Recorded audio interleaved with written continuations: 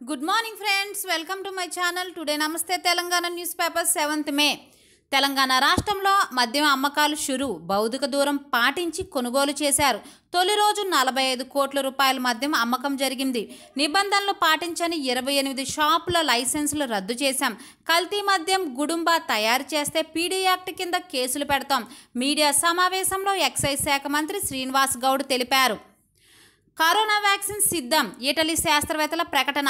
మానవ కణాలపై సానుకూల ఫలితాలు వచ్చాయి. వైరస్ను సమర్థవంతంగా నిలవరించే ఔషధం ఎలుకలపై అంచనాలకు మించిన ఫలితాలు వచ్చాయి. హైదరాబాద్ వారు బయటకు వెళ్ళొద్దు బయట వారు హైదరాబాద్ రావద్దు. తెలంగాణ రాష్ట్రంలో కరోనా వైరస్ వ్యాప్తి తీవ్రత ఎక్కువగా ఉన్న హైదరాబాద్ దాని చుట్టుపక్కల ప్రాంతాలలో కట్టుదిట్టమైన నియంత్రణ చర్యలు పాటించాలని ముఖ్యమంత్రి కె. చంద్రశేఖరరావు అధికారులను ఆదేశించారు. హైదరాబాద్ నగరంతో పాటు కర్నూలు గుంటూరు జిల్లాలకు సరిహద్దుల్లోని గ్రామాలలో అప్రమత్తంగా ఉండాలని చెప్పారు.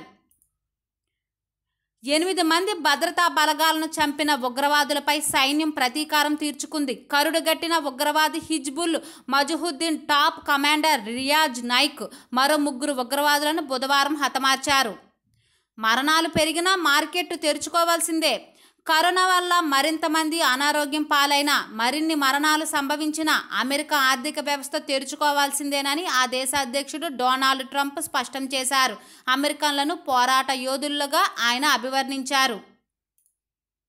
త్వరలో రోడ్లపైకి బస్సులు దేశంలో త్వరలోనే ప్రజా రవాణా సేవలు ప్రారంభమయ్యే అవకాశాలు ఉన్నాయని కేంద్ర రోడ్డు రవాణా రహదారుల శాఖ మంత్రి నితిన్ గడ్కరీ బుధవారం వెల్లడించారు. ఇదే సమయంలో ప్రజలందరూ నిర్ణీత దూరాన్ని పాటించడం వంటి చర్యలను తీసుకునేలా ప్రభుత్వం మార్గదర్శకాలను రూపొందిస్తుందని వివరించారు. యాభై రెండు వేలు దాటిన కేసుల సంఖ్య దేశంలో కరోనా మహమ్మారి తీవ్ర రూపం దాలుస్తుంది. మొత్తం కేసుల సంఖ్య యాభై రెండు వేలు దాటాయి. మరణాల సంఖ్య పదిహేడు వందలు దాటాయి. మహారాష్ట్రలో బుధవారం రికార్డు స్థాయిలో పన్నెండు వందలకు పైగా కొత్త కేసులు నమోదయ్యాయి. మద్యం మంట ధరలను పెంచుతున్న పలు రాష్ట్రాలు మద్యం ప్రియులకు వివిధ రాష్ట్రాలు షాకిస్తున్నాయి. లాక్డౌన్ త్రీ పాయింట్ జీరోలో భాగంగా కేంద్రం కొన్ని సడలింపులు ఇవ్వడంతో ఆయా రాష్ట్ర ప్రభుత్వాలు మద్యం దుకాణాలు తెరవడానికి అనుమతులిచ్చాయి. అయితే ఇదే సమయంలో మద్యం ధరలని భారీగా పెంచుతున్నాయి. ఈ జాబితాలో తమిళనాడు ఉత్తరప్రదేశ్ చండీగఢ్ తదితర రాష్ట్రాలు ఉన్నాయి. శ్రీశైలం నుంచి ఏపీ సర్కార్ ఎత్తిపోత.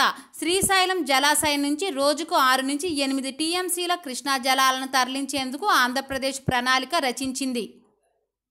కేంద్ర ప్రభుత్వం రూపొందించిన విద్యుత్ చట్ట సవరణ బిల్లు విద్యుత్ వినియోగదారులకు షాక్ ఇవ్వనుంది. ఈ బిల్లు రాష్ట్రాల అధికారాలను కేంద్రానికి దఖలుపరచడమే కాకుండా ఉచిత విద్యుత్ ఇతర సబ్సిడీలను పూర్తిగా తొలగించనుంది. రెండు రోజుల్లో ఓ ఓ మోస్తారు నుంచి భారీ వర్షాలు కొనసాగుతున్న ఉపరితల ద్రోణి. బుధవారం పలు జిల్లాలలో వాన.